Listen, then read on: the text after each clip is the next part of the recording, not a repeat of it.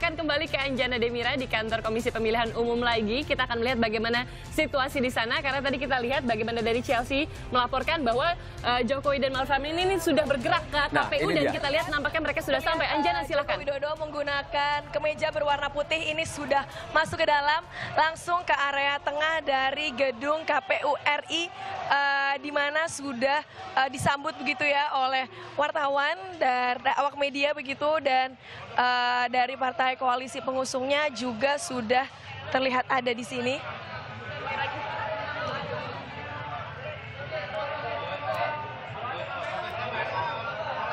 Dan memang eh, ini juga baru saja terlihat di sini Joko Widodo turun dari mobil dan menggunakan kemeja berwarna putih kemudian bersama-sama ini masuk ke dalam tenda yang berwarna putih di mana juga sudah eh, bersama dengan ketua umum eh, partai koalisi pengusung lainnya. Nah, kalau misal dan ini eh, gerbang baru saja dibuka mobil kedua juga baru saja masuk ke dalam dan terlihat memang ini di depan pagar sendiri agak ricuh begitu ya. Banyak sekali masyarakat yang ingin masuk ke dalam meskipun uh, yang sudah menggunakan ID masih agak dipersulit begitu.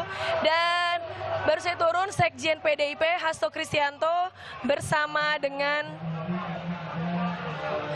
bersama dengan Ketua Umum PDIP Megawati Soekarno Putri.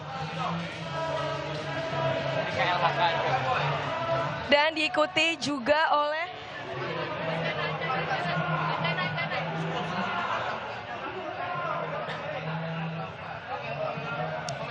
Ya, tadi setelah eh, Joko Widodo hadir di sini tidak berapa lama disusul juga oleh eh, Sekretaris Jenderal dari PDIP Hasto Kristianto kemudian juga berbarengan begitu ya datangnya bersama dengan Ketua Umum PDIP Megawati Soekarno Putri. Mereka masuk ke dalam di mana memang di sini pun di belakang saya terlihat kericuhan begitu ya baik yang sudah memiliki ID ataupun tidak eh, tidak dipersilahkan masuk ke dalam karena dari awak media maupun dari eh, partai koalisi pendukung lainnya ini sangat ramai sekali di dalam. Ini tadi informasinya sudah ribuan begitu ya baik dari sembilan eh, partai pengusung pendukung karena suaranya pun juga sangat terdengar di sini bergema begitu. Ini eh, masuk ke dalam langsung eh, akan dilaksanakan proses verifikasi. Setelah verifikasi nanti akan menuju ke lantai dua untuk dicek begitu oleh tim dari KPU RI. Apakah persyaratannya sudah lengkap, bagaimana mekanisme pendaftarannya.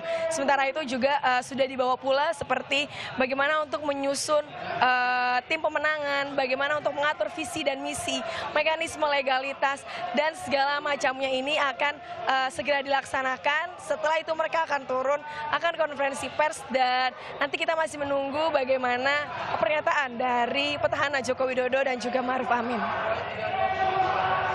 Aris dan Syah.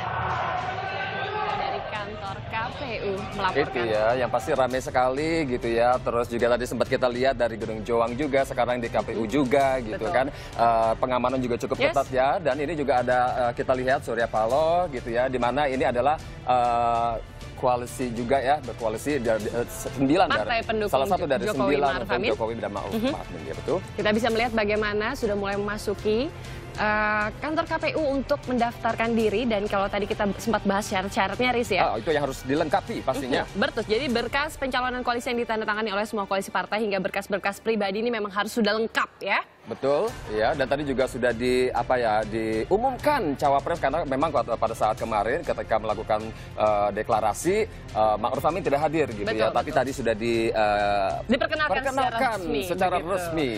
Jadi jika misalnya ada yang ingin tahu nih berkas apa saja yang termasuk dalam berkas pribadi itu antara lain adalah kartu tanda penduduk, akta kelahiran, surat tanda terima telah menyerahkan laporan kekayaan harta pribadi dan pejabat negara, kemudian kepada Komisi Pemberantasan Korupsi dan juga surat keterangan dari Kementerian Hukum dan HAM yang mengatakan atau menyatakan status kewarganegaraan dari para calon. Betul banget. Dan kalau sudah lolos ya syarat-syarat administrasi ter- tersebut, pastinya langsung boleh dong gitu ya mengikuti nantinya pemilu di 2019. Dan yang kita masih harus menunggu juga nih karena Ya karena di eh, yang kedua nanti setelah sholat Jumat ada kubu dari Prabowo juga dan eh, Sandiaga Uno yang akan mendaftarkan tapi saat ini Jokowi dan eh, Ma'ruf Amin ya kita lihat se- sedang berada di KPU sekarang. Betul, memang sedikit meleset dari perkiraan di mana seju- eh, di awalnya dikatakan bahwa mereka akan mendaftar tepat pada pukul 9 ke Betul. KPU namun karena tadi ada sambutan yang disambut juga meriah oleh para relawan maka mereka baru eh, sampai saat ini pada pukul 9.33 menit Betul saat ya, tadi ini dan kita, kita, bisa lihat melihat uh, Surya Paloh sekarang ada uh, Megawati Soekarno Putri Mhm. ya. Terus ini juga kita lihat ada uh, Ketua Umum dari Golkar ya, Erlangga. Iya, partai koalisi yang mendukung Jokowi dan Maruf Amin ini nampaknya memang eh, hari ini nampaknya Mhm. semua hadir ya Riz ya. Betul? Kita bisa melihat juga sebenarnya di sana ada beberapa public figure. gitu ya. Dan pasti tadi eh, kita juga sudah sampaikan Mhm. mengenai syarat-syarat itu yang harus dilengkapi pastinya dan selanjutnya itu juga syarat-syarat juga harus lolos. Ya, Nah, ini adalah Ketua Partai Perindo Haritanu hari juga sudah Sudibyo hadir. ya, betul. Sekali lagi bagaimana untuk mendaftarkan diri atau mendaftarkan eh, eh, pendaftaran capres cawapres ini memang harus lolos dari berkas administrasi ya Riz ya. Betul sekali, ada berkas pencalonan koalisi yang sudah ditandatangani oleh semua koalisi partai pastinya, hingga berkas-berkas pribadi yang harus dilengkapi dan Betul. lengkap. Kelengkapan berkas pribadi itu di antara lain adalah kartu tanda penduduk, akta kelahiran memang pasti harus ada ya Riz Tapi ya. yang paling seru nih eh, Sheila pada Mhm. pa- pada hari ini gitu ya di sosial media tuh tagar-tagar itu sangat eh, lah menjadi trending topik nih ya. Iya. Heeh. tagar. Ya, Hashtagnya macam-macam ya hari ini ya. Macam-macam pastinya. Tadi ya terkait dengan kelengkapan, ada surat tanda terima juga yang telah menyerahkan laporan kekayaan harta pribadi dan pejabat negara kepada Komisi Pemberantasan Korupsi. Dan juga surat keterangan dari Kementerian Hukum dan HAM yang menyatakan status kewarganegaraan dari para calon, Ya. capres dan cawapres. Benar sekali. Semua sudah bersiap dan ini nanti dikatakan seperti yang Anjana tadi sudah laporkan bagaimana setelah melakukan pendaftaran selesai mereka akan melakukan press conference gitu Betul, ya. dan ini juga perjalanan yang cukup panjang dan membuat semua warga deg-degan karena penasaran banget gitu ya sampai akhirnya eh, terdeklarasilah nama-nama dari ca- cawapres Betul. gitu ya. Jadi Ada- nama cawapres ini memang kemarin sangat ditunggu dari kedua belah pihak. Ada yang ya. bilang begini, oh sudah eh, eh, dinyatakan gitu ya kan, eh, inisialnya adalah M. Tapi yang M itu banyak sekali gitu, tapi yang ternyata yang kita ketahui adalah Ma'ruf Amin. Ya. Betul. Sebenarnya bisa aja sih Mas Aris mungkin ya, tapi enggak Aris. Kan kemarin aku udah bilang, ya. M itu masa sih?